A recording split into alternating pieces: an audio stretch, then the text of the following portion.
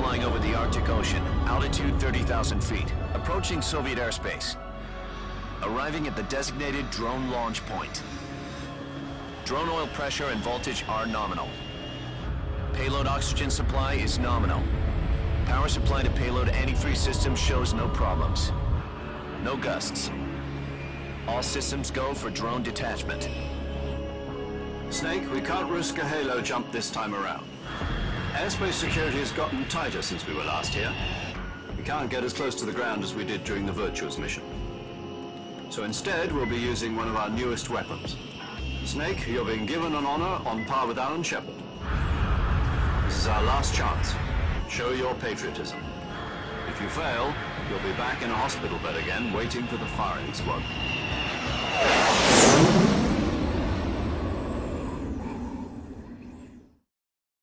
So how does it feel to be a patient in one of the most advanced ICUs in the world?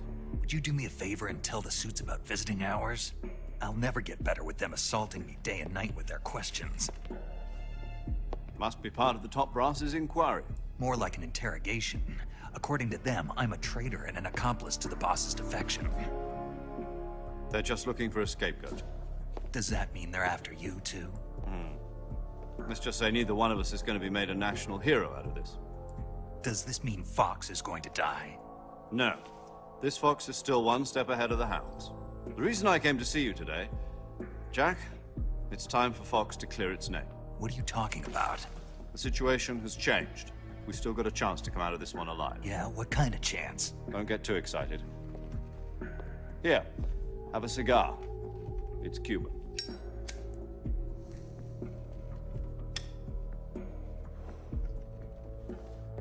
This morning, I had a meeting with the CIA. They decided when they're going to execute us? No. Something even bigger. Yesterday, the White House received an unexpected call. President Johnson? Yes, I hear you, Mr. Chairman. It was a hotline call from Khrushchev to President Johnson. From the head of the Soviet Union? That's right. A few days ago, one of our country's main design bureaus, OKB 754, was destroyed in a nuclear explosion. At about the same time, our anti aircraft radar picked up a signature that appeared to come from one of your military aircraft. Does any of this sound familiar to you? In retaliation, I have placed our armed forces on secondary alert.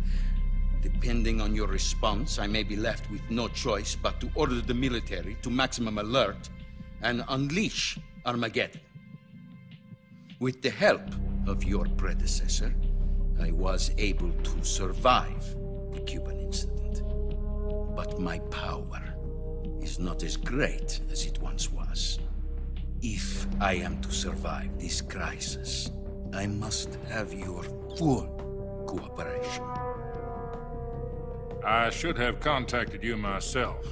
Did you know that one of our soldiers defected to your country a week ago? No. So you haven't heard then. The man who arranged the defection was a GRU colonel by the name of Yevgeny Borisovich Volgin. Volgin of the Brezhnev faction. Go on.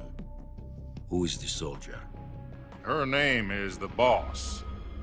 She's a living legend. During World War II, she was the one who led us to victory in that war. In Russia, you know her as Voyevoda. You mean the boss? The mother of your special forces? Yes, that's the one. And she took two miniature nuclear shells along with her. The boss took two miniature nuclear shells. I'm afraid so. I believe they were a gift for her new hosts. The Davy Crockett Atomic Battle Group delivery system was completed two years ago.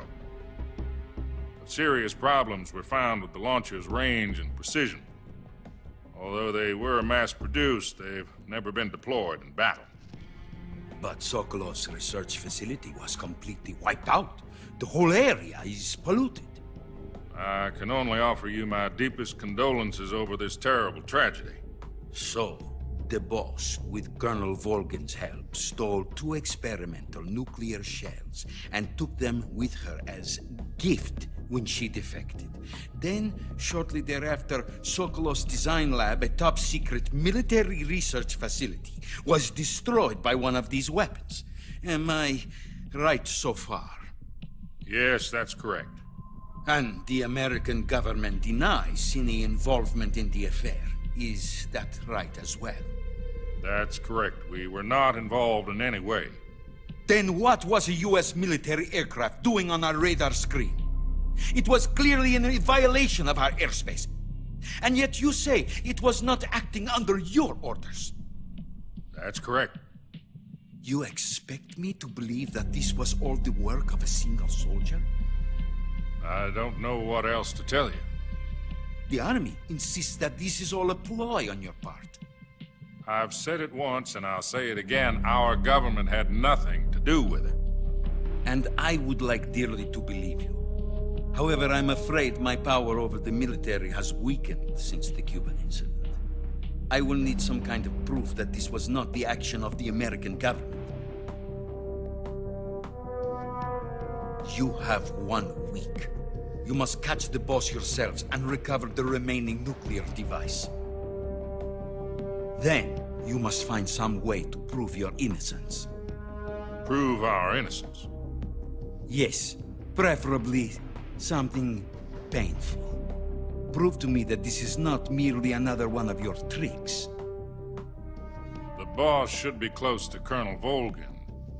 How about a little co-action?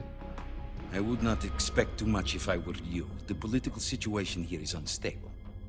And Colonel Volgin is a member of the Brezhnev faction, which seeks to topple my government. One week. You have only one week, and if it is not too much to ask, do something about Volgin as well. What is that supposed to mean? Nothing means nothing. Call it a modest gentleman's agreement to ensure our continued relationship. What if we can't prove our innocence? Then I will be unable to restrain the military. I will be ousted, and they will seek their revenge. A nuclear attack on the United States? I leave the disposal of this situation entirely to your discretion, Mr. President. Disposal?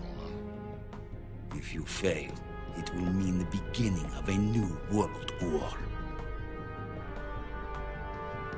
To put it simply, in order to avoid a full-scale nuclear conflict, we have to prove that America was not involved in that explosion.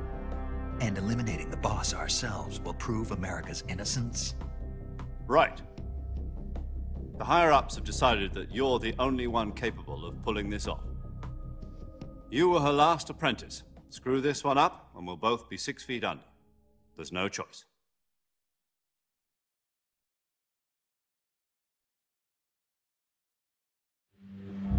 Are the Russians going to be helping us? The KGB has promised to lend us one of their communications satellites so that you and I can talk to each other. That's it? They've also put us in touch with a couple of insiders. Insiders? There was a defection in September 1960. Do you remember it? You mean the two NSA codebreakers who went over to the Soviet Union? Precisely.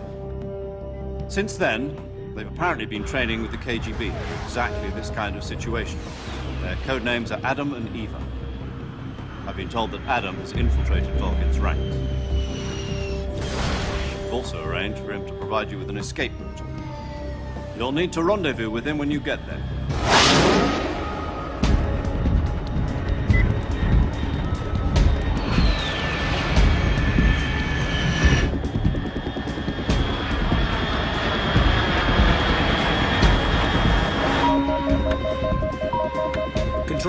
Unidentified aircraft detected. Altitude 30,000 feet.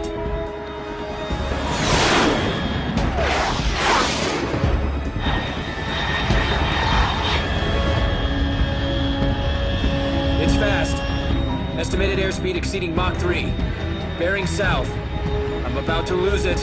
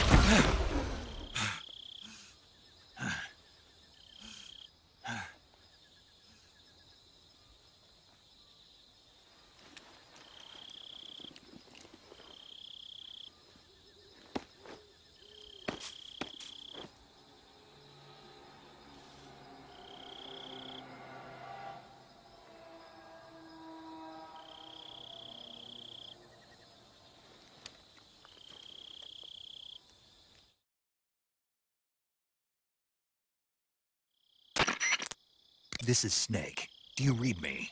Loud and clear. Glad to see you landed safely. I got blown pretty far off target. Snake, let's go over your mission objectives one more time. Rescue Sokolov. Find out what's happened to the Shagohod, then destroy it.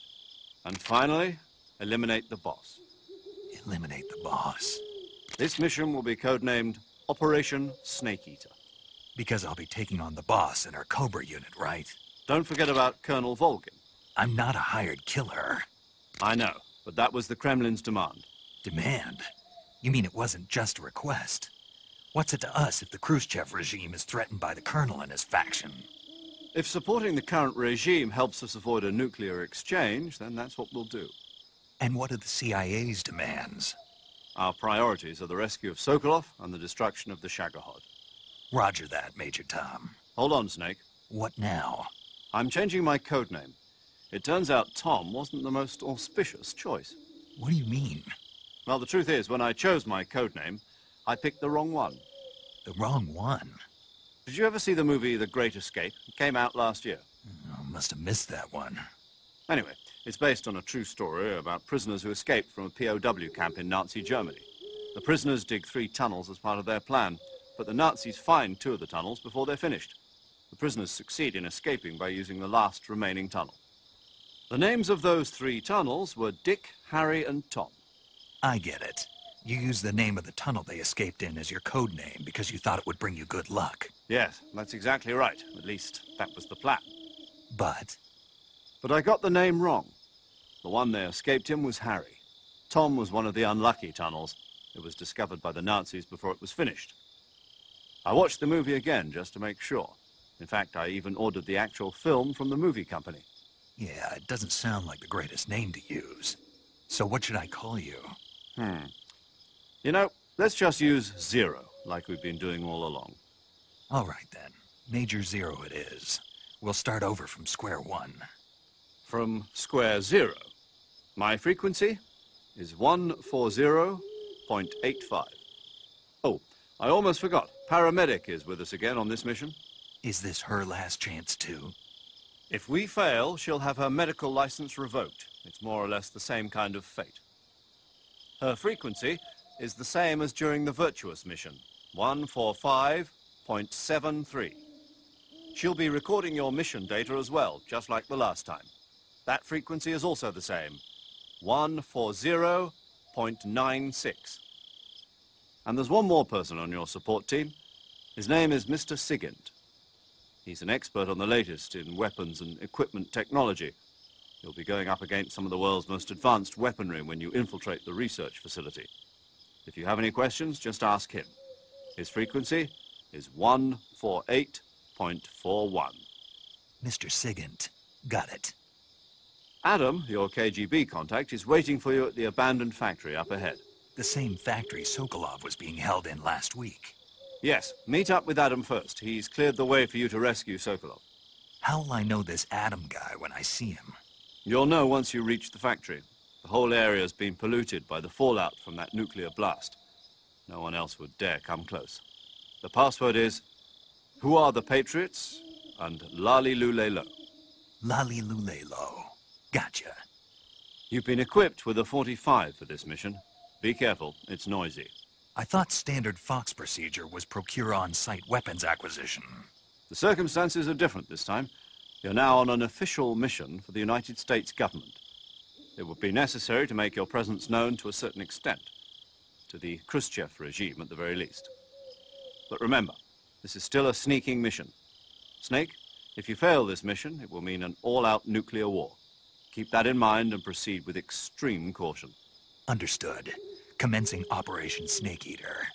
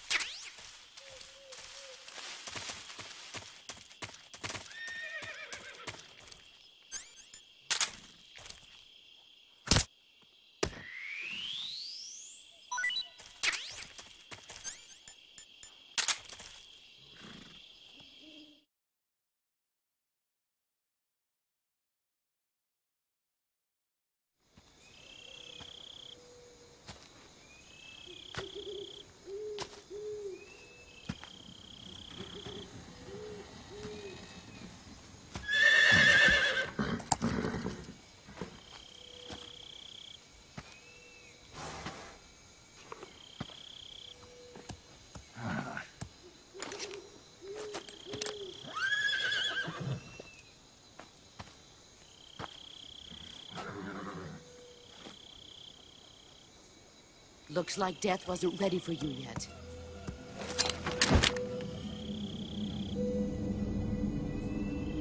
Boss, That arm still hurt? what are you doing here?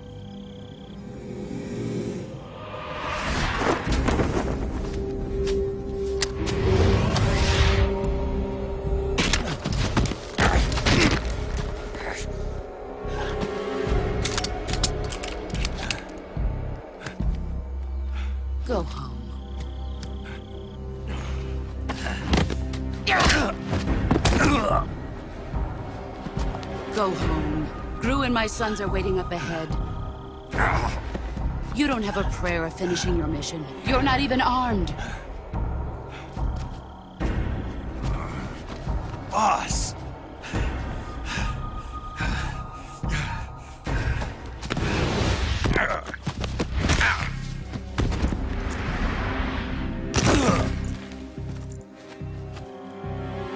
I'm not your boss anymore.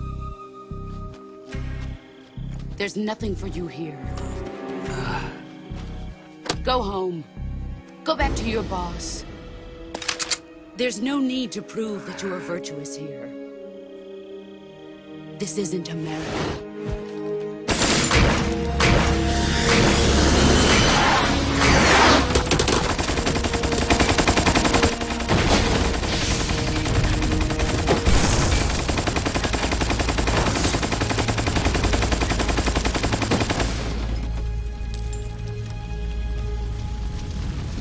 That should stir things up a bit. You'd better hurry.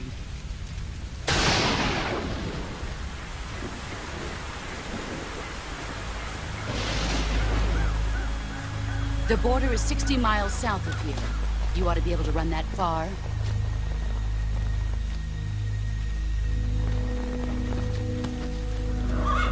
Why'd you defect?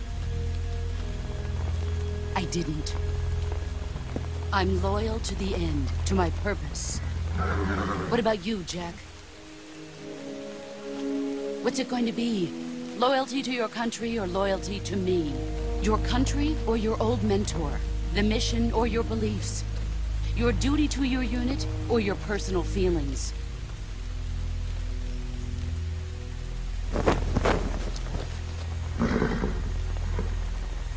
You don't know the truth yet. But sooner or later, you'll have to choose. I don't expect you to forgive me.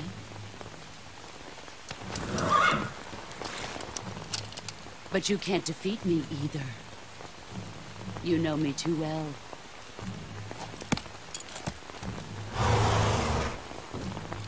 Just look at that bandana. If you can't put the past behind you, you won't survive long.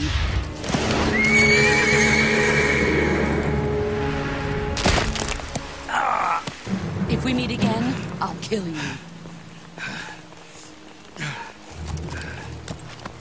Now, go home.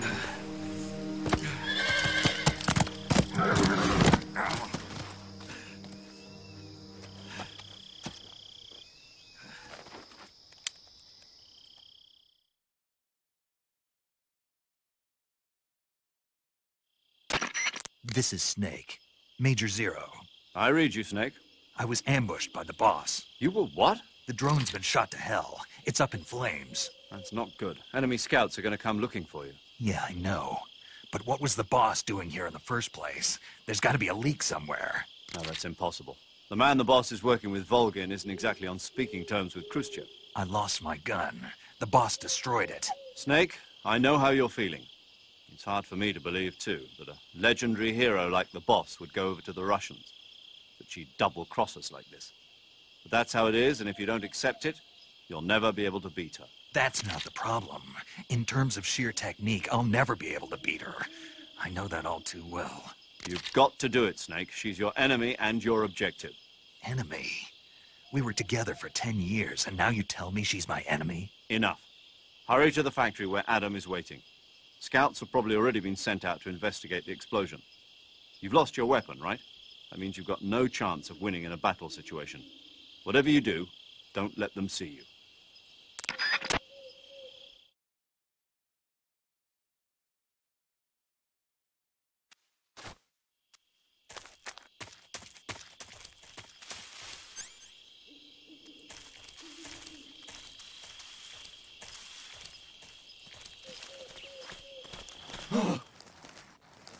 What's this?